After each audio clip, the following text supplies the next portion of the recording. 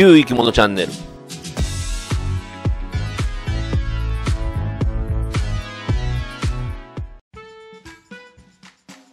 はい、皆さん、こんにちは。竜生き物チャンネルです。怖い話って怖いですよね。いやね、怖い話があるんですよ。今ってやっぱりお昼間って水分取るじゃないですか。そして夕方になるとね、ビールとかね、冷たいものを飲まれるでしょ、皆さんもね。めちゃくちゃ美味しいですもんね。このね、なんやもうお昼の暑い時期をね、忘れさせるような爽快な飲み物ね、たくさん飲むでしょ。ほんで寝るわけですよ。ほんじゃもう年ですよね。夜中に起きてトイレ行きたいわけですよ。嫌ですよね。めんどくさいですよね。トイレでもやっぱりいかんとね、漏らすわけにいきませんのでね、寝れないしね。昨日もまあ同じルーティーンですわ。夜中の2時過ぎですよ。草木も眠る牛蜜ドキドキ。ああ、おしっこ来たーいう感じでね、目を覚ましましてね、トイレですわ。トイレ行きたくないけどどうしようかなーですわ。でもね、行かないともう昔若い頃ベッドの上でね、噴水したことあるんですよね。もう恥ずかしい。トイレ行ってきましたよ。すっきりしましたよ。ふわー言うてね、出たらね、出た瞬間にお岩さんだったんですよね。ああ、今やったらもう貞子ですかね。バーってね、目の前に立ってたんですよ。私ね、わー言うて大きい声出したらね、近所にも聞こえてたと思うぐらいの大きな声でしたよ。じゃあ前にね、立ってたんですわ。貞子のように髪を振り向い出した嫁さん。ね私があんまり大きな声出すもんですからね、嫁さんビクーなってもてね、ブルブルってなってましたわ。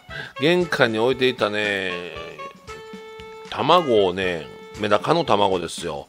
帰った稚魚のね、稚魚、まあ、ハリコですね。ハリコのケースをね、ガシャンひっくり返しよったんですよ。嘘やろ思って。嫁がね、私を驚かそうとして立ってたんですけども、相手も寝ぼけてますわ。ひっくり返ったケースと嫁さんとでもブルブルってなってね、足に水かかってももう、なんていうんですか、私も一回、ああ、もう一回言うてるんですけど、びっくりさせんといて言うてね、本気で怒られても帰っていったんですよね。残ったひっくり返したケース、かわいそうなことしましたよ。ハリコたちにはね、さすがにもう私、ハリコ見えないですもんね、夜になるとね。電気だけではもう見えないです。まあ、ハリコですから余計ですわ。もう床に散らばったハリコね。どないしてくれんねん。ハリコとかいっぱい入ってんねやろ。って言いたかったんですけど、よう言いませんでした。まあ、びっくりさそうと思った人がね、私の大声でびっくりしたっていう話です。やだな、やだな、怖いな。さあそんなこんなでお時間がやってまいりました本日も頑張ってまいってあのね行きたいと思います。それでは行ってみましょう。元気出してレッツメダカ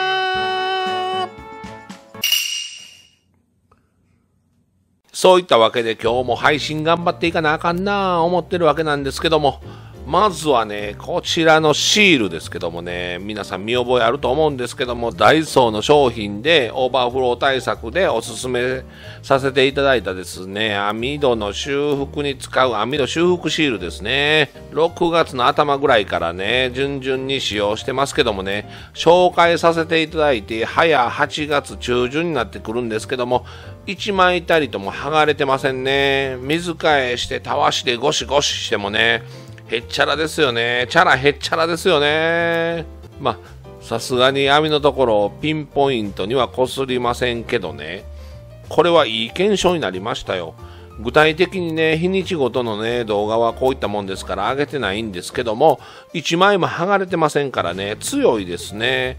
重ねるのも重ねやすいですしね、加工的にも簡単ですしね、これはちょっと長いこと使えそうですね。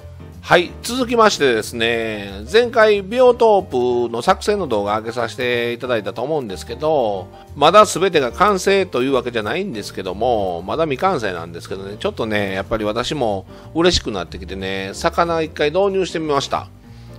こちらはですね、竜の瞳です。そして、右奥にいるのが、あ、左奥にもいますね。これが王妃なんです。ちょっと似通ったメダカたちを入れてしまいました。でもまあ、とりあえずね、試験的に入れているという感じで、見栄えはどうなんかっていうことで、入れさせてもらいました。ねえ、めちゃくちゃ綺麗ですよね。メダカ自体も綺麗なんで、すごく映えるんですよね。この場所場所によってね、下の景色が違うでしょ。これがまたいいんですよね。その場所に行くと綺麗に見えるというね。すごくいいビオトープになってきそうです。今後ね、コメント欄にもよく書いていただいたんですけども、まあ、メンテナンスが大変やということをおっしゃっておられました。確かにおっしゃる通りで、苔も生えてくるでしょうしね、いろいろビオトープの動画見させていただいてますけども、やっぱりね、メンテが大変なことをね、数々のね、ビオトープの YouTuber さんがおっしゃられております。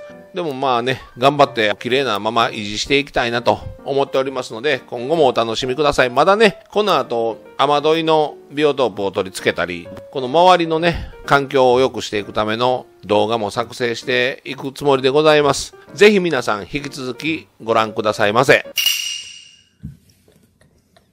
以前ですね、6月の初めぐらいでしたっけ、田んぼでね、お水を採取しましてですね、まあ、そのお水の中に、こう、ワンワン小さい、ワンワンって小さい微生物がおりまして、この微生物は果たしてゾウリムシなのではないかということでね、1ヶ月間ね、ちょっとね、1ヶ月半ぐらいですか、繁殖させてみました。以前ね、田んぼの土からね、ミジンコを採取した中、ミジンコのお話もあったんですけどもね、結局ね、そのミジンコも今でも爆食しているんですけども、このゾウリムシはどんなもんかっていうことでね、検証させていただいております。こちらね、めちゃくちゃ増えてるんですよ、ゾウリムシ。もうおそらくゾウリムシ、まあ、ごめんなさい、顕微鏡とかないので、100%ゾウリムシかと言われれば、ちょっと疑問なとこあるんですけども、おそらくもうこれはゾウリムシですね。やっぱりね、田んぼとかからゾウリムシが採取できるんですね。まあ、薬品がどうのこうのといろいろうんぬんあると思うんですけども、まあ、当時はまだ田んぼに水はったばっかりでまだ薬も何も入ってない状態でしてね、まあ、微生物に薬品がくっついてるということはなかなか考えにくいと思います。土地柄にもよると思うんですけどね。いろいろ自然からも採取してね増殖できるということですね。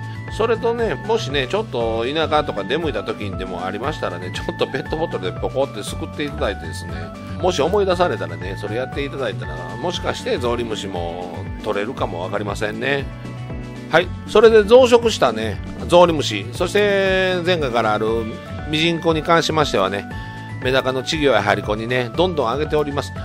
それでどうなったっていうのは別に何も変わりなく過ごしております。大きくなっております。気になられる方はですね、まあ、死ぬんじゃないかとか思われる方はもう売ってる方で購入していただければと思います。まあ私なりの自然から採取したという動画でございます。本日もご視聴ありがとうございました。この動画が良かったかなと思われた方は、チャンネル登録、そしてグッドボタン、よろしくお願いいたします。それではまた次回にお会いしましょう。ありがとうございました。